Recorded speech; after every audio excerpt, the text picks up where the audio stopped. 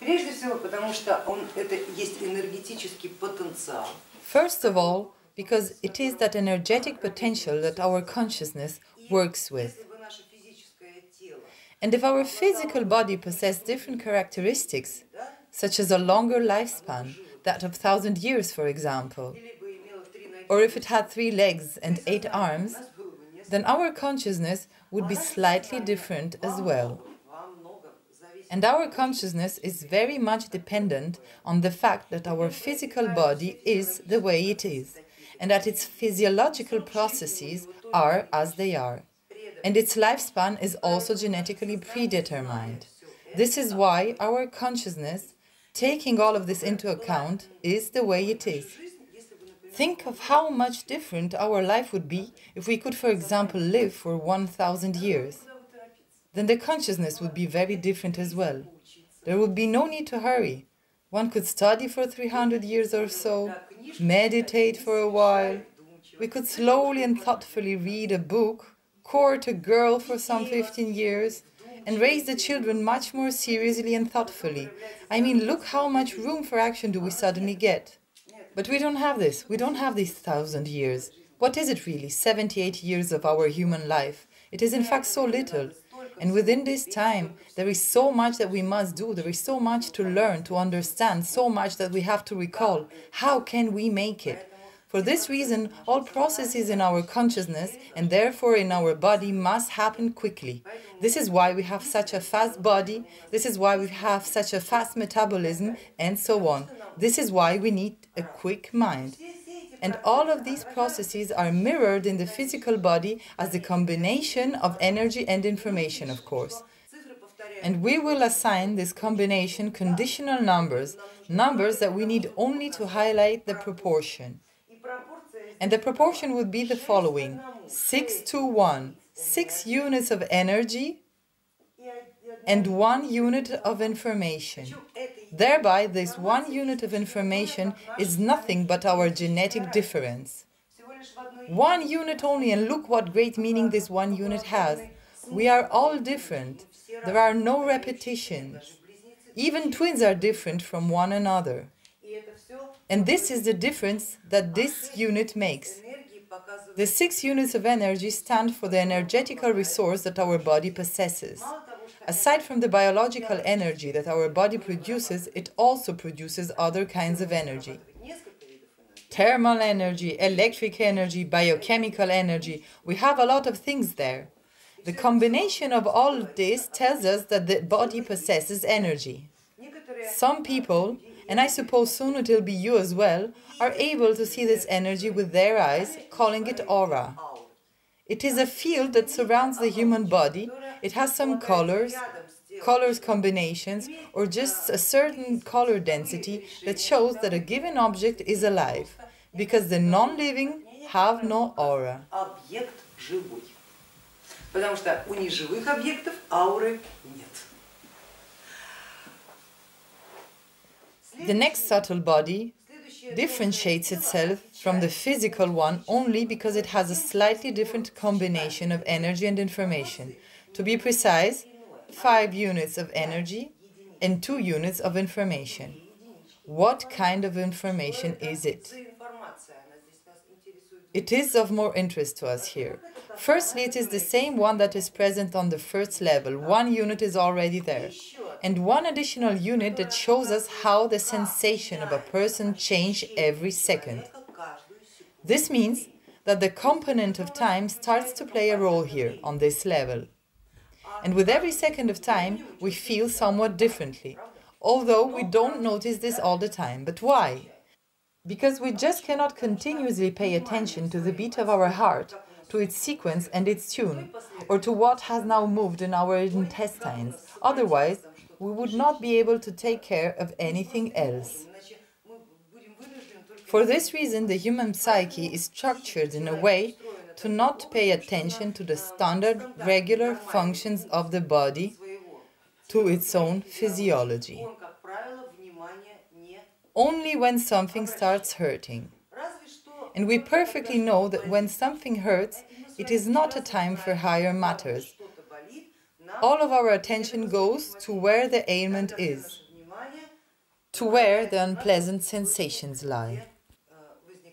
And this quality of consciousness will also greatly serve us in our exploration efforts of the latter, because it confirms the second and not least important law of our energo-informational world that states, where there is attention, there is energy. We have to memorize this because we will be constantly referring back to this law.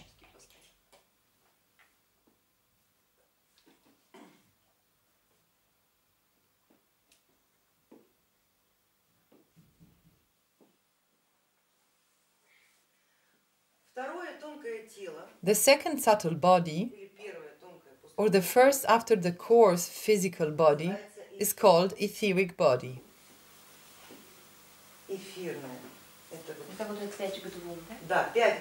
5 to 2. This is the etheric body. It is essentially the aura that people see. The energetic density around the physical body. As a rule, it never exceeds 10-15 centimeters. If we will observe it with our eyes and feel it with our tactile sensations, then in a normal state it does not exceed those dimensions. If a person has a lot of energy or is very excited, then it is possible that their etheric body will have slightly different outlines. We will talk about this later. 10-15 centimeters around the physical body. However, according to its characteristic, the etheric body has a very important function for our consciousness. It accumulates all of the energy produced by the body, transforming it in a specific way, as some layers of our consciousness cannot be directly charged by the energy that has been produced by the physical body. Take cars as an example. They don't run on petroleum. It must be first refined into fuel, gasoline, or whatever the petroleum is refined to. Meaning that a certain intermediary is needed that can combine all types of energies to transform them, mix them up, and then direct one current towards one area of the consciousness and another current towards another area, and so on. This takes place in the etheric body. But who gives out the orders? What type of energy and where to direct it? For that, there is a superior instance, a higher body that is stronger due to the amount of energy and information it possesses, with an additional information unit, four energy units, and three information units are found in the next layer and this layer is called the astral body.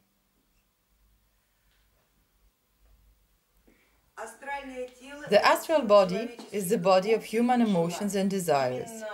It is them indeed that force the etheric body to direct a certain amount of energy to education, a certain amount of energy to physical health, another amount of energy to social life, another amount of energy to private life, namely to all the spheres of human existence. This is the function of the astral body. And as you could understand, subordination is strictly respected in this serious structure.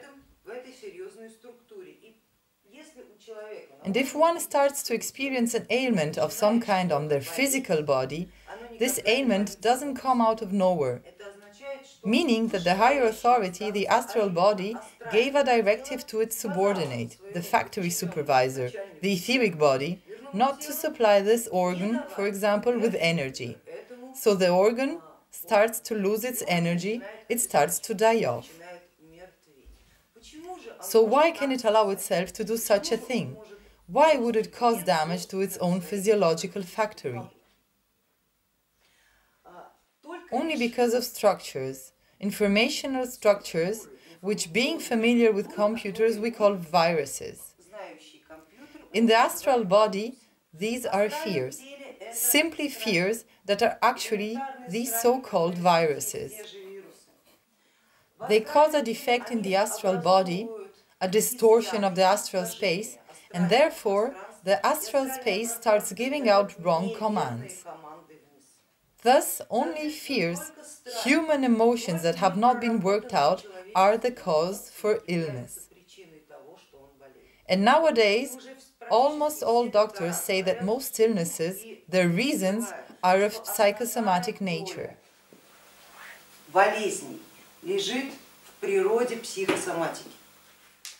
And only very few ailments have other non-psychosomatic causes.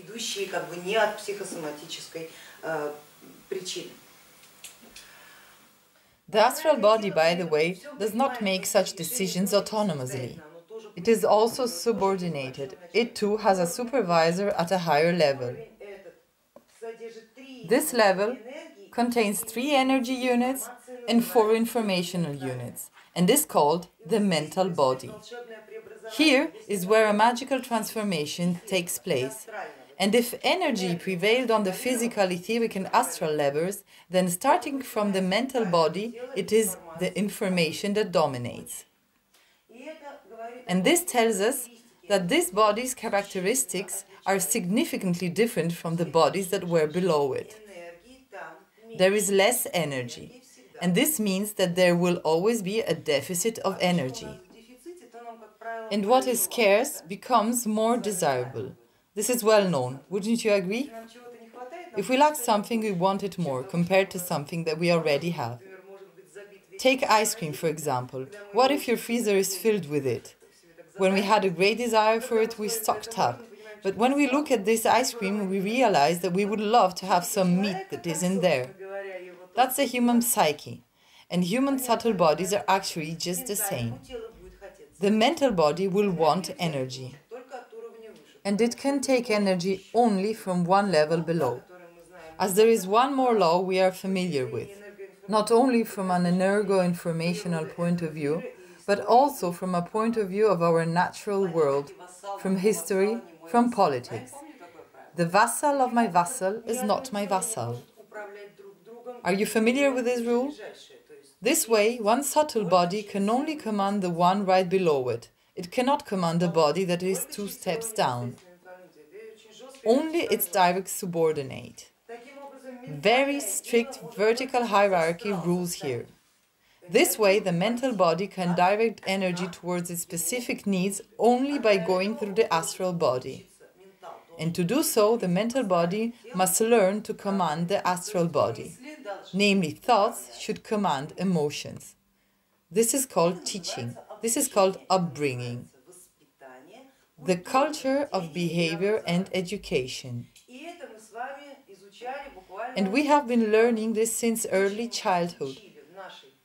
This is what we have been taught in our family, our culture, to develop our mental body and through this mental body learn to somehow control our emotions.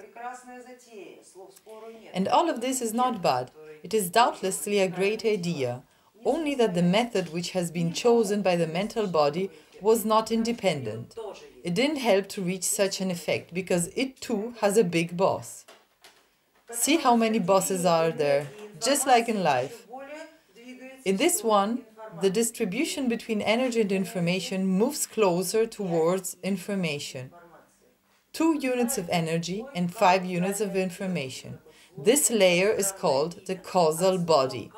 This complicated name comes from the word cause. This way, the causal body is the body of our experience, of the law of cause and effect. It is mainly informational. And if the mental body simply stores the information related to the world we live in, then here you will find one very important algorithm. Here, all information is compressed. It doesn't spill or ooze. It doesn't take on the form of a thought. It is straightforward and clear, beginning, end, cause, effect, was, is, without any emotion. And it is this body that tells the mental body about this world and how it should be. It tells the mental body what sort of worldview the carrier of the entire system should have in order to survive in the given society. What it is that this consciousness should rely on in order to be healthy, successful, and to avoid illnesses and misfortunes. And it seems like a noble idea, but we know that our experience is incomplete. And we only get to experience that which is allowed. And the experience that is forbidden, we only get to have it by overcoming our fears of being punished by this society. And this is the kind of life experience that we allow ourselves to have. Am I explaining it all clearly? And the experience that we don't allow ourselves to have is regulated by an even higher structure. It is called the Buddhic body.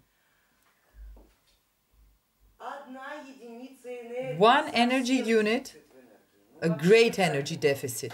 There is so very little of it. Only imagine what sort of fights take place at this level for every slightest gram of energy. And six informational units. Whereas information, on the other hand, there is tons of it. And since there is a deficit of energy, the Buddhic body has one main objective to direct the energy towards what it needs. And it only needs one thing to maintain a stable consciousness system of the individual, as for him not to wish anything else besides what has been initially prescribed within the Buddhic body. Because the Buddhic body is the system, the layer that curates our consciousness by the means of values and beliefs.